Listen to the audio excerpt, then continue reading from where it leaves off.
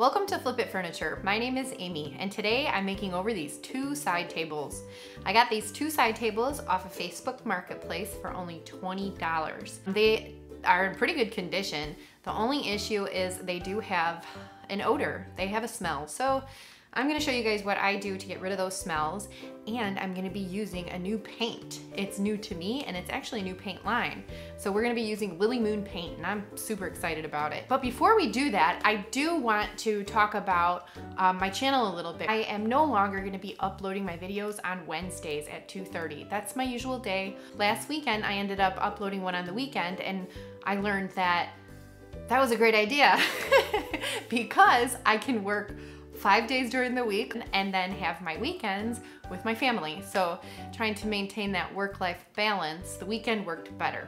So turn on your notifications. Um, you know, don't forget to hit the subscribe button. Turn on your notifications because then you'll be notified when I upload. I'll either be uploading Friday, Saturday, or Sunday, depending on when the video is finished. So, okay, enough chatting. Let's, let's flip it. First step is to clean my piece, so I'm using Dixie Belle's White Lightning Cleaner. And I just dissolve some of the powder in some warm water and then clean my piece thoroughly. And when I'm done cleaning my piece, I rinse it with some water just to make sure that there's no cleaner residue left on the piece. Now I'm going to address the issue with the odors. No matter how much I clean this piece, it is still going to stink. So that's when um, Zinsser's shellac comes in handy. I have to cover every single inch of these end tables. I'm talking even the bottom of the feet. If you do that with your shellac, you could even do two coats. You'll lock the odors in and eliminate the stink. So here I have Klean-Strip, I have my mask, and I have my gloves. Because I don't have a soft padded sander, I have a really hard time um, sanding these edges. So if I just do one coat of stripper first, I'm gonna have a much easier time when I have to remove the finish off of the sides. So I'm using Klean-Strip today because I have it. Usually I don't use it because the scent is so strong for me and it does give me a migraine but you don't have to cover it and I'm feeling a little lazy. so instead of covering it with plastic wrap, you just leave it for 15 minutes and then you can come back and strip it. But the sun was drying it really quickly, so I only kept it on for about five minutes. And I did a quick wash with some steel wool and mineral spirits just to make sure that all the stripper residue was removed from the piece. And then I started sanding my tabletop. Now for these edges, I sanded them as much as I could, but there was still a lot that I couldn't get off. So I have seen this carbide scraper used in a few other channels like um, Transcend Furniture Gallery, Mad City Modern, and Reconstructing Emily. Using this tool, they remove a lot of finishes off of pieces, so I thought this would be a really great idea to help me get in these hard to reach spots. But I'll say it definitely, I had a learning curve with this. It took me a little while to get used to.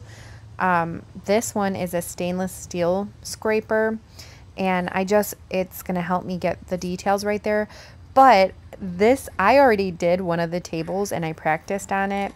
I had a hard time. I'll be honest. I didn't even know if I had the blade on this thing right. So I did reach out to um, Barry at Mad City Modern and he kind of gave me some really great tips. So be sure to go check his channel out because he uses this a lot and he gives a pretty thorough tutorial on these tools.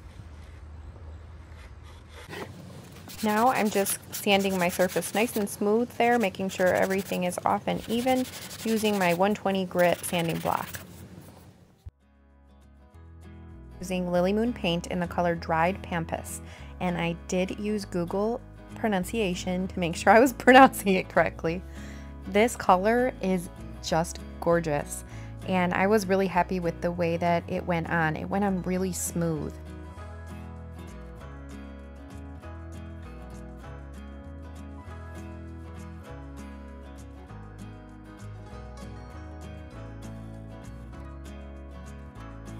Here's what it looks like after one coat. I got pretty good coverage. And then this is my second coat goes on like butter. It goes on so smooth over the first coat. Really like this paint. I did not use my water mister and I'm so used to using my water mister, but I didn't need to, so I didn't use it. This paint seems to be, um, it feels, it, the texture is a little bit thinner, which I really like. So it just went on so nice and smooth. For the two tables, I used about half of the container, and that was two coats on each of the tables, and then I always do like a little spot check on my third coat. Okay, so I'm at the point right now where I have to decide what I want to do with this top. And so far, my plans are not panning out. I was going to stain the top. That was the original plan. And, um, but I wasn't sure which color I wanted to choose. So I thought, well, just do the bottom first. And then once I see the bottom on, which I have to do one more coat, but once I see what the bottom looks like, then I can do the top. Well, I see the bottom and my gut is telling me do not stain this. I really want to put like a wash of Mountain Mist. It's her paint. I have this paint and I just feel like this would pair so, so nicely. Now the issue is this is an oak table. So there's gonna be tannins and bleed through that wanna peek out through this. So if I do just a paint wash and especially adding a little bit of water to that paint will activate those tannins. So I have to seal it first. I could use Dixie Belle's Boss in a clear sealer. I mean, that that's exactly what I'm going to do. But my issue now is that it's going to be a little bit more slick. So my paint is um, the the wood grain that I would like to show through might not show through as much. So we'll see what happens. Let's just give it a try and see how it goes. I just opened a new container of my Boss and as you can see, it really, really, really needs to be stirred. It's been sitting there for a while, so just make sure that when you open your Boss, you give it a great stir to make sure all the pigments on the bottom are mixed. I gave these tables a total of two coats of the Boss, waiting for it to dry in between coats. When I sanded these tables, I only went up to 150 grit, and that's because when you're sanding oak, if you sand it too much, it'll really polish it and then it won't take stain. So it actually worked out for me really well because it was pretty porous, the surface, so it sucked up all of that boss and did not leave me with the shiny surface that I was worried about, so it all worked out. I've got my wash all together. That's just some water with some mountain mist, and then I'm misting the table all over. I want everything to be, um, you know, I don't want it to be dry because I don't want my paint to dry fully. I just want a nice watered down mixture. Uh, I sort of take my time with it, apply it to the whole table, and then I wipe it off.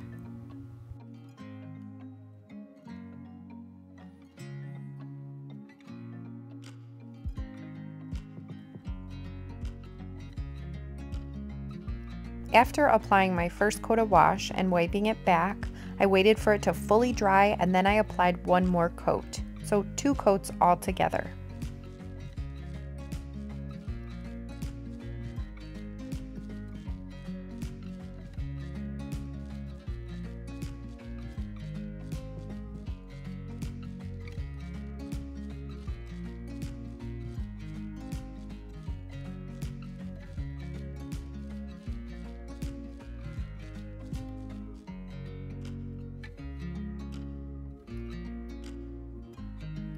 For the hardware, I'm using this Rust-Oleum Metallic in rose gold.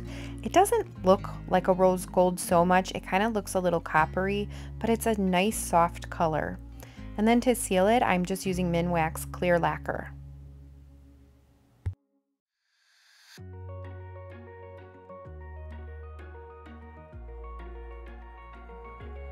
It's time to seal the entire piece and I'm using Dixie Belle's Clear Coat in satin. It's my favorite, it's my go-to. I just think it leaves such a beautiful finish on all the pieces. Sometimes when I'm looking at my piece without it, I'm like, oh my gosh, what did I do? It doesn't look right. And then I put the sealer on and it just ties it all together. I added two coats of the sealer waiting for it to dry in between coats.